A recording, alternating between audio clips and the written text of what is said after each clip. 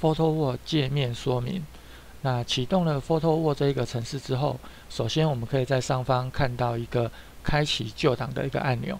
那我们可以从这边来选择之前所存档的 PhotoWord 的一个专案档。那另外呢，在正中央的部分有一个很大的一个新建的按钮。那这边呢就是开启新的档案啊，开始来创作的位置。那左右两边呢，则各有一个灰色的啊，标示着即将推出这样子一个字样的一个按钮。那这代表的是 PhotoWord 开发团队，它之后呢将要提供给我们的一些呃新的一个功能。